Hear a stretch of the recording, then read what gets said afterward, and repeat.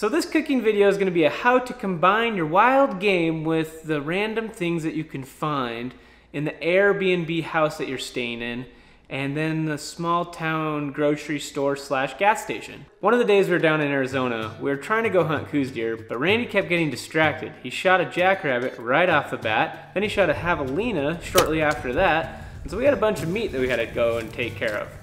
Last year, Hank Shaw was able to grace us with his uh, culinary expertise, but unfortunately he couldn't make it this year. And then Jonathan Odell, who is our next in line chef, was out working, and so according to Randy, that leaves me as the default cook.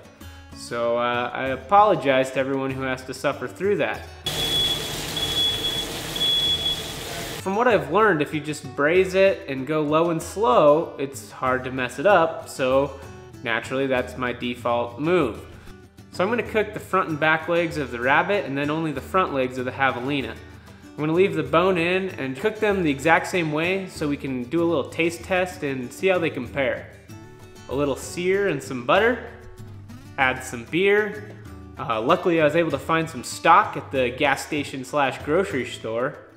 Uh, I think uh, I think there's a different set of people here like every week at this uh, Airbnb house. So there's just a random assortment of seasonings. So we're gonna just try um, a little of this, maybe some of this. I have no idea what this is, but it, sure, why not? Um, and yeah, can't, can't go wrong, right? I can't get away from the idea that every, every wild game animal that we shoot in Arizona needs green chilies associated with it somehow. So canned green chilies, we're gonna put those in. So I have no idea what you call this meal. Uh, braised meat, barbacoa, pulled meat, whatever you wanna call it. It's this kind of uh, random assortment of whatever I could find that was laying around or at the grocery store. And uh, it's kind of a create your own meal. I'm just gonna put out sour cream, chips, cheese, and uh, tortillas. You can, tortilla. You can make little tacos, whatever you want. It's a create your own meal.